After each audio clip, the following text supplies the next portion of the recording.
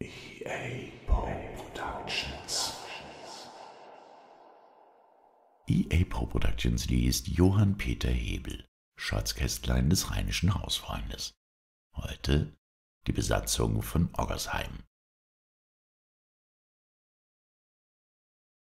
Zu Oggersheim, gegenüber von Mannheim, um die Wahl etwas weiter oben oder unten, je nachdem man sich stellt, als im Dreißigjährigen Krieg unversehens die Spaniolen vor Oggersheim anrückten, flohen fast alle Einwohner nach Mannheim.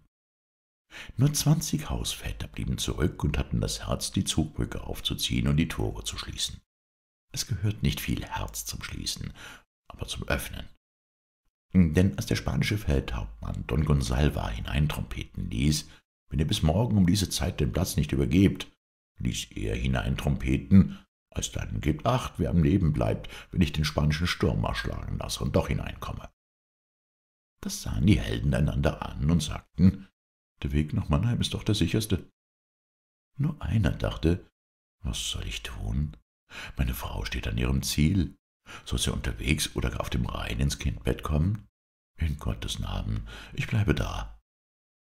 Als nun die anderen alle sich geflüchtet hatten und er noch allein in dem Städtlein war, trat er mit einem weißen Fähnlein auf die Stadtmauer und rief in das spanische Lager Grund um zu wissen sei ich im Namen des Herrn Kommandanten von Oggersheim, der Garnison und der ehrsamen Bürgerschaft. Ihr sollt uns versprechen, das Eigentum zu schonen und die protestantische Religion unangefochten zu lassen. Wenn ihr dieses tut und halten wollt, so sollen euch in einer Stunde die Stadttore geöffnet werden. Ich, der Trompeter. Da sahen der Feldhauptmann und seine Leute einander an. Ja, Nein, nein, ja. Was sollen wir katholisches Blut vergießen lassen? sagte endlich der Feldhauptmann, um einen ketzerischen Altar umzuwerfen. Oder was werden wir in diesem Bauernstädtlein für Schätze finden? Und rief mit lauter Stimme Akkordiert. Nach einer Stunde, als der Feind mit geschlossenen Reihen und Gliedern, mit fliegenden Fahnen und klingendem Spiel einzog, am äußeren Tor war niemand. Sie werden im Inneren sein, am inneren Tor war auch niemand. Sie werden auf dem Platz sein. Auf dem Platz stand Mutterseelen allein mit dem weißen Fähnlein der herzhafte Burgersmann. Was soll das heißen? Wo ist der Kommandant und die Besatzung? Wo ist der Bürgermeister und der Rat? Da fiel der Burgersmann vor dem Feldhauptmann auf die Knie nieder.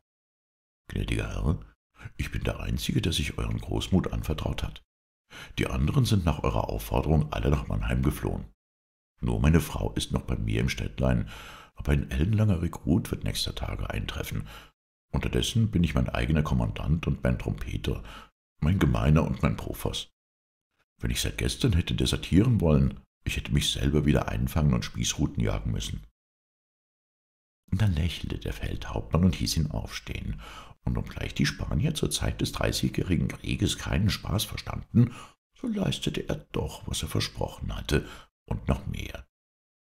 Denn als den anderen Morgen der brave Burgersmann wieder zu dem Feldhauptmann kam, »Jo Gnaden«, sagte er, »wolltet ihr mir nicht auf eine Viertelstunde euren Fettpater leihen, wenn er evangelisch taufen kann? Der ellenlange Rekrut ist angekommen und schon einquartiert.« Das sagte der Feldhauptmann. »Ja, braver Kamerad, und ich will Gevattersmann sein und dein Kind zur Taufe halten.« Also hielt der General das Kind zur Taufe und schenkte ihm ein spanisches Goldstück zum Andenken. Den folgenden Tag zogen die Spaniolen wieder weiters. EA Pro